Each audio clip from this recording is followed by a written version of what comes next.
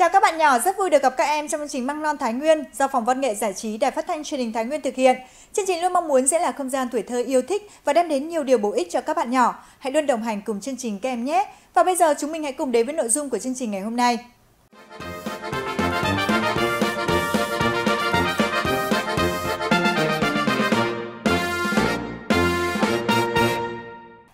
Đến mỗi ngôi trường mà chúng mình đang theo học đều vinh dự mang một cái tên ý nghĩa đặc biệt, thường là tên địa danh, tên nhân vật nổi tiếng, những nhân vật anh hùng lịch sử để ghi nhớ công ơn và giáo dục truyền thống lịch sử cho thế hệ trẻ. Tìm hiểu và hiểu ý nghĩa tên ngôi trường của mình cũng là cách mà các bạn nhỏ thể hiện tình cảm dành cho ngôi trường thân yêu. Trong tiểu mục Thiếu nhi Thái Nguyên làm theo lời bác ngày hôm nay, chúng mình hãy cùng một nhóm các bạn nhỏ đi tìm hiểu về ý nghĩa tên gọi của ngôi trường các bạn ấy đang theo học các em nhé.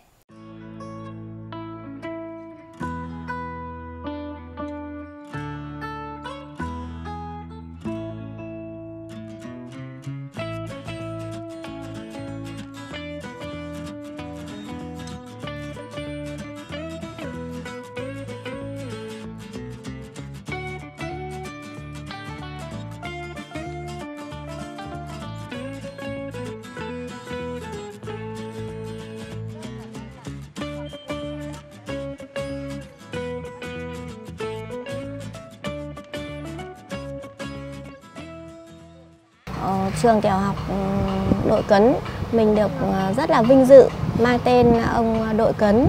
Chính vì thế mà mình cũng muốn cho các bạn học sinh được tìm hiểu về lịch sử cũng như là ý nghĩa của đền thờ Đội Cấn và ý nghĩa của trường học mình được mang tên.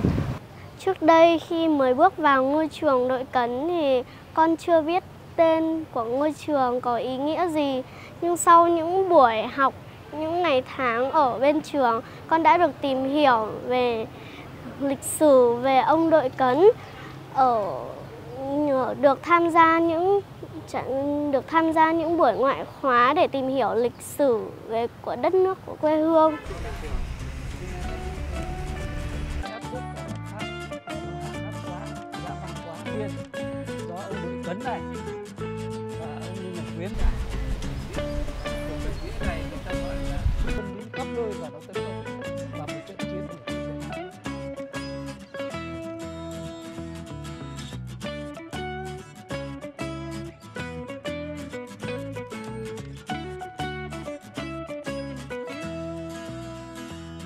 Dạ ông ơi, cho cháu hỏi là ông đã tìm hiểu câu chuyện này ở đâu đây à? À trước hết thế này, đây là một cuộc khởi nghĩa có thật.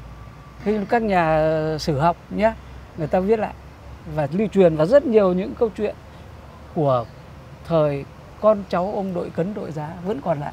Thì ông tìm hiểu trong lịch sử này, rồi trong những cái nhân chứng lịch sử. Thế và dần dần và ông phải tưởng tượng ra. Nhà văn là phải tưởng tượng hư cấu thêm rất nhiều. Vì đây nó là tiểu thuyết lịch sử các cháu ạ, chứ không phải là lịch sử nhá tiểu thuyết lịch sử rồi lớn lên các cháu sẽ hiểu viết tiểu, tiểu thuyết lịch sử nó thế nào nhá. Thế cho nên là ông mới hình dung và và hư cấu ra một cái câu chuyện để cho người đọc sau này hình dung toàn bộ cuộc khởi nghĩa như thế nào ông đội cấn như thế nào ông đội giá như thế nào ông cái mánh như thế nào rồi cái thằng đác rồi thằng là giám binh noel như thế nào vân vân. Đấy để người ta hình dung được cuộc khởi nghĩa nó nó quyết liệt đấy và đầy tính nhân đạo.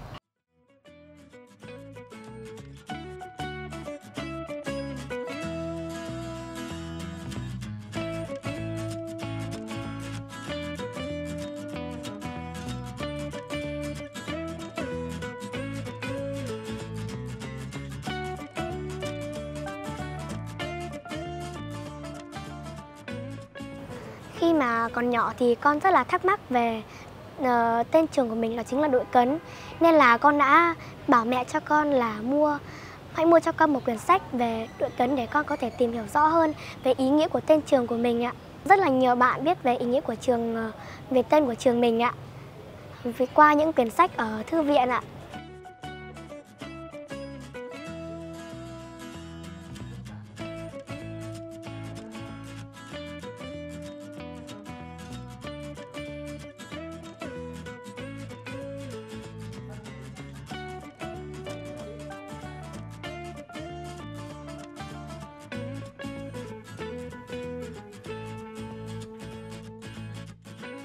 Khi đã biết được ý nghĩa về ngôi trường của mình, con rất tự hào và hứa sẽ chăm chỉ học tập thật tốt luyện tập và giữ gìn giữ gìn cho đất nước ngày càng tươi đẹp hơn ạ.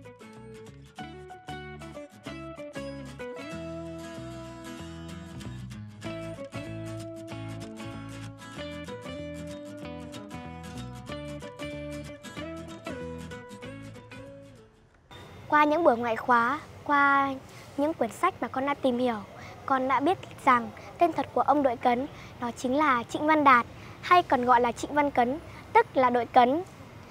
Ông sinh năm 1881 và mất năm 1918. Quê của ông ở thôn Yên Nhiên, xã Vũ Di, huyện Vĩnh Tường, tỉnh Vĩnh Phúc. Năm 1910, ông đăng ký tham gia đội lính khố xanh thay cho người anh trai của mình với cái tên là Trịnh Văn Cấn. Từ đó, ông tên là ông đội, tức là đội Cấn. Người đã lãnh đạo binh lính Thái Nguyên, nhân dân Thái Nguyên tiến hành khởi nghĩa vũ trang và và đã làm nên điều kỳ diệu vào năm 1917. Ông hy sinh khi tuổi đời của ông Ông hy sinh khi tuổi đời của ông mới có 37 tuổi. Ông Đội Cấn là một ngôi sao sáng mãi trong bầu trời cách mạng của Việt Nam ta. Tên tuổi của ông đã gắn với cuộc khởi nghĩa của Thái Nguyên và là và sáng mãi trong lịch sử của nước ta. Chính vì vậy mà nhiều đường phố, nhiều trường học đã mang tên của ông. Và ở tỉnh Thái Nguyên có một ngôi trường mang tên của ông, đó chính là trường tiểu học Đội Cấn, nay là trường tiểu học Đội Cấn 1.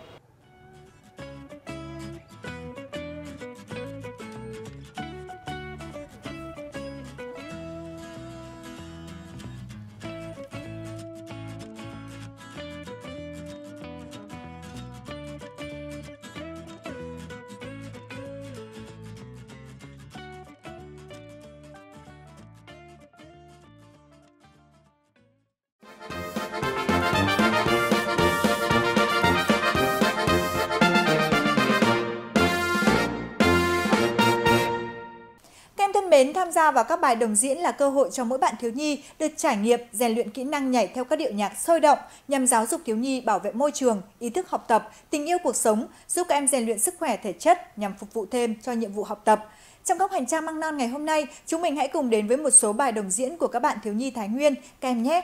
Thành phố Thái Nguyên là đô thị loại 1 trực thuộc tỉnh Thái Nguyên, là trung tâm văn hóa, giáo dục, khoa học, kỹ thuật, y tế, du lịch, dịch vụ của tỉnh Thái Nguyên và vùng Trung Du miền núi phía Bắc. Cách đây 60 năm, trường tiểu học Đội Cấn được thành lập trên mảnh đất thân yêu giàu truyền thống cách mạng. Trường tiểu học Đội Cấn, ngôi trường có bề dày thành tích là lá cờ đầu của ngành giáo dục với các phong trào dạy tốt, học tốt, diễn ra sôi nổi và hiệu quả, các hoạt động văn hóa, văn nghệ, thể dục thể thao, phát triển toàn diện cho chúng em đại diện cho 2.164 các bạn học sinh toàn liên đội tham gia nhảy đồng diễn Fast Note vòng bán kết toàn quốc. Xin mời các bạn cùng tham gia điệu nhảy Fast Note cùng cun bảo vệ môi trường với Liên đội tiểu học đội cấn, thành phố Thái Nguyên, tỉnh Thái Nguyên.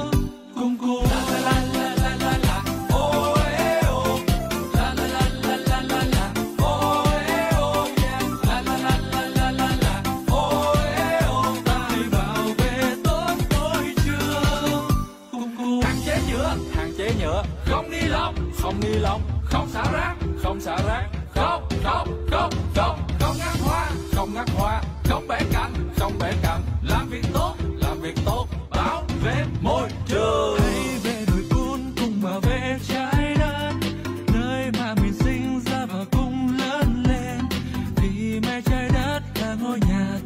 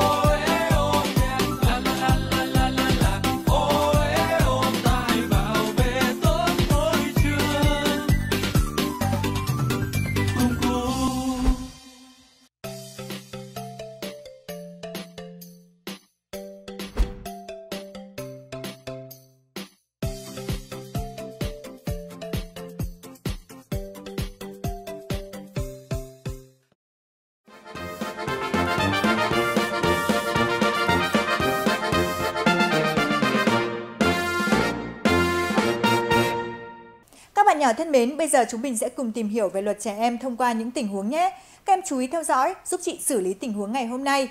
Bạn Hát là học sinh lớp 5, dễ thương, xinh xắn nên được nhiều bạn nam viết thư làm quen. Nhân lúc Hát không để ý, các bạn nam trong lớp liền giật thư và đọc to cho cả lớp nghe. Mặc dù bị Hát phản đối, không đồng ý, nhưng các bạn nam không trả lại.